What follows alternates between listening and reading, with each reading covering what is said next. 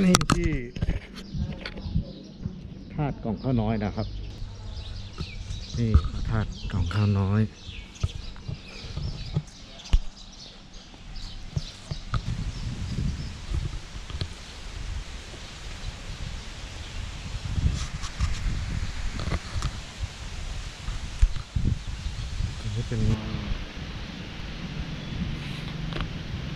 เดี๋ยวผมจะพาเดินดู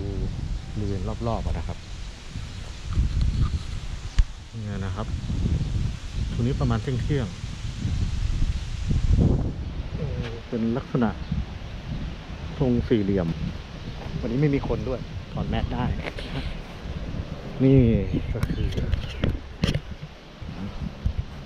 ข้างในก็จะมีนี้รูปปั้น ตรง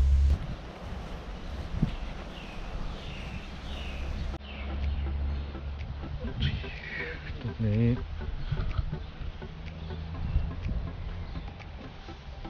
นี่ควายสีดำตัวหนึ่งกับควายสีชมพูตัวหนึ่งนะฮะ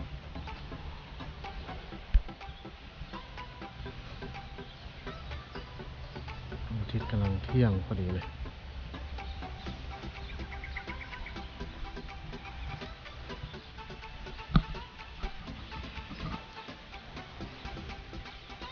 สำหรับประวัติความเป็นมานะเพื่อนๆก็คงรู้นะฮะผมไม่ขอเล่าแล้วกัน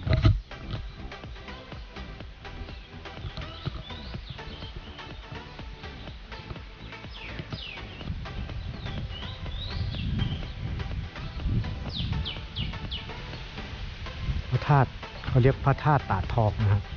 ตามรูปแบบสถาปัตยกรรมสร้างขึ้นที่พุทธศตวรรษที่ 24 นะครับ ก็เป็นมีความเกี่ยวเนื่องกับนิทานพื้นบ้าน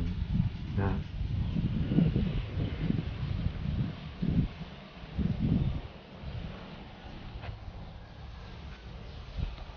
กรมศิลปากร